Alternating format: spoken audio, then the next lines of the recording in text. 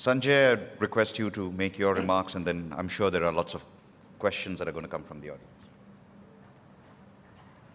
Good afternoon, everybody. Uh, so actually, I start from where Ulf exactly left is that what does India need to do and what should be the Indian approach.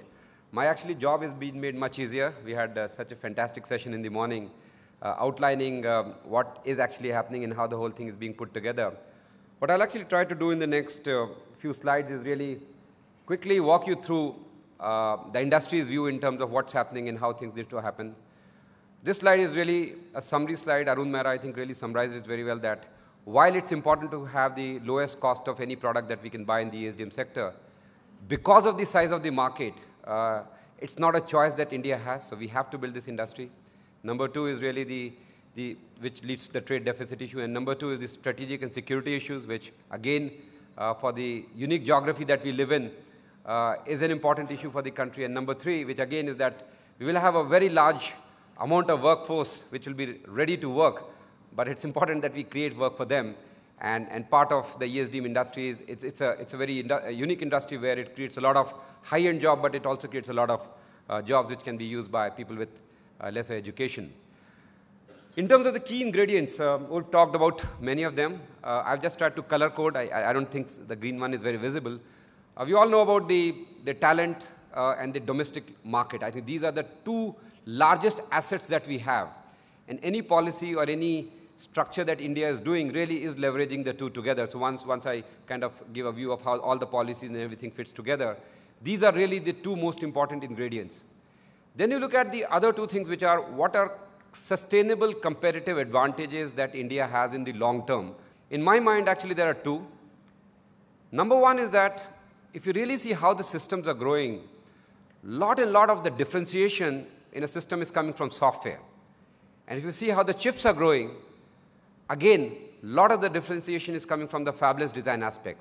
The, the, the soft part of a system is actually becoming the largest component of the value chain, whereas the hard part of the system, whether it's the final silicon or the, or the, or the uh, system that comes together, contributes to a lesser part of the value chain. So I think given our natural advantage of people, innovation, R&D, and, and, and uh, the talent that we have, I think that's one advantage. The second advantage is the amount of, you know, someone talked about it, I think yesterday, is the capital efficiency, I think Lip-Bu talked about is the capital efficiency that comes in India. To do the same amount of product, you could do it with one-fourth of the investment. I think that really is something when an SME or an entrepreneur starts in India, it will become a big long-term sustainable advantage.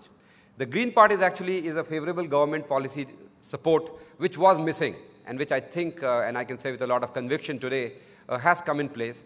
The red part I put is the component in the EMS industry. I would say that that is the infrastructure related stuff. That relates to the picture that Ulf showed. Yes, there are a lot of problems in the country. There are a lot of things which need to get fixed.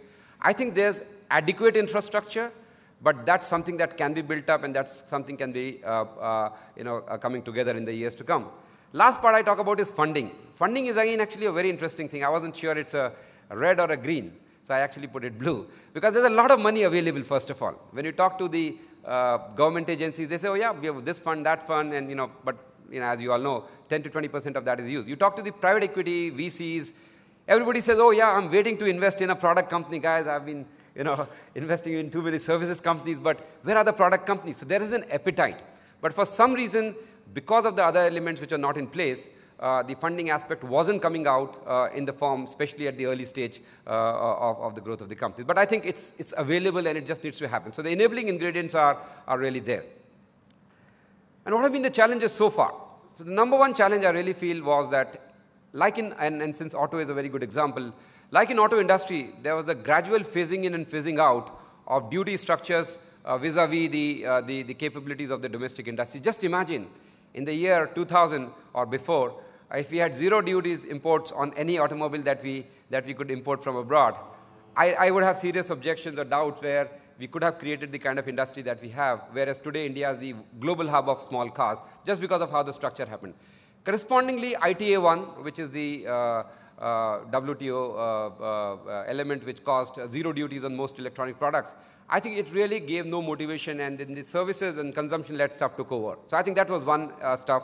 And that has resulted in that even whichever in the small scale, if you see there are a lot of products in India, they never got to the economies of scale because they could never compete on day one uh, with companies who have global economies of scale.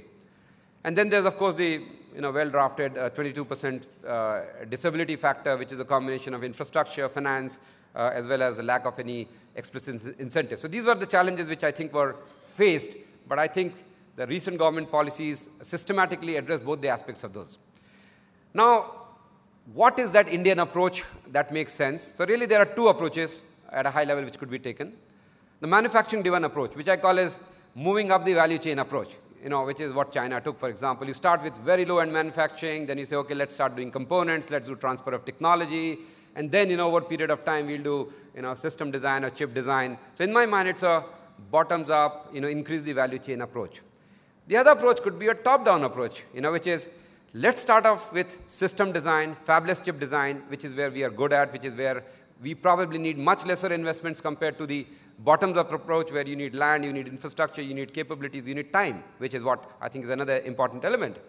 So we start top down, and then for whatever you need to do in, the, you know, in, in that arena, you build the appropriate infrastructure for EMS and, of course, the components in the form of silicon and so on. I'm not saying don't plant those seeds right now, but fundamentally, we need to decide which is an approach which is going to take us forward in the time period because we cannot again wait for a long time and long gestation period for all these things to happen.